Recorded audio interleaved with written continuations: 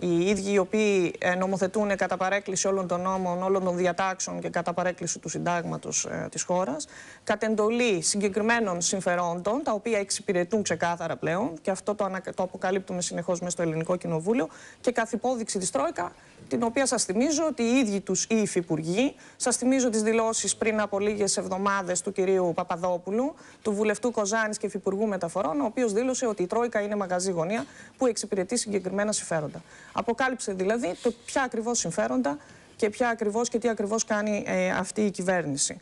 Όσον αφορά λίγο το να δούμε το πλεόνασμα, ε, το μόνο πλεόνασμα το οποίο έχει αυτή η συγκυβέρνηση είναι πλεόνασμα θράσους και ψεύδους απέναντι σε ένα ελληνικό λαό που προφανώς τον θεωρεί επέτη και ζητιάνο. Και βέβαια εγώ να κάνω ένα σχόλιο γι' αυτό ότι σε τι διαφέρει τελικά αυτή η συγκυβέρνηση από τη Χρυσή Αυγή; Και η Χρυσή Αυγή, ξέρετε, τρόφιμα μοίραζε στο Σύνταγμα. Σακούλες με τρόφιμα και ζυμαρικά. Ε, θα μοιράσουν λοιπόν ε, τρόφιμα και ζυμαρικά στους επέτες Έλληνες πολίτες. Οι Έλληνες πολίτες λοιπόν δεν είναι ζητιάνοι, δεν είναι επέτες και να πάψουν αυτή την κοροϊδία. Δεν υπάρχει κανένα πρωτογενές πλεόνασμα. Ε, πρωτογενές πλεόνασμα δεν υπάρχει όταν μειώνεις τη φοροδοτική ικανότητα και υπερφορολογείς.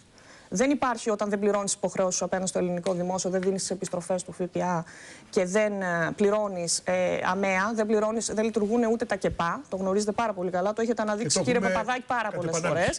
Το πρόβλημα αυτό είναι ε, χρόνιο. Είναι τουλάχιστον δύο χρόνια που υποφέρουν άτομα με αμαία και ζουν χωρίς να έχουν αυτή την υποτυπώδια στο σύνταξη και να μπορέσουν να ζήσουν γιατί δεν έχουν άλλη διέξοδο. Άρα δεν υπάρχει πρωτογενές πλεόνασμα. Και όσον αφορά το ποσό, επειδή αναφέρατε ότι είναι κάπου στα 500 εκατομμύρια ευρώ, να σας πω ότι την προηγούμενη εβδομάδα πέρασαν σε νομοσχέδιο ε, της συγχώνευσης των 21 φορέων, αν θυμάστε, του διοικητικής μεταρρύθμισης ο κ. Μητσοτάκης, μια τροπολογία που η απόπειρα για να την περάσουν ήταν τρεις φορές.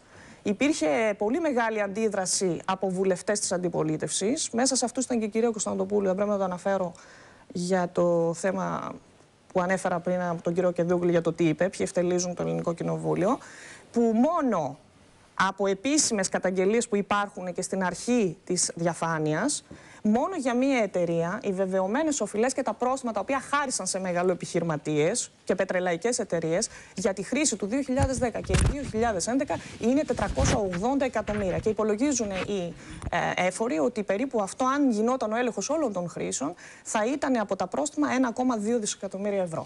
Αυτά λοιπόν τα χάρισαν σε τροπολογία, τροπολογία την οποία έφεραν στο ελληνικό κοινοβούλιο. Επιστρέφουμε μετά τις ε, διαφημίσεις. Θα δώσουμε, επειδή το ζητάτε, για να έχουμε και ένα, ε, ε, μια βάση για συζήτηση, μέχρι στιγμής με τις πληροφορίες ποιοι παίρνουν το επίδομα, αυτό το επίδομα, θα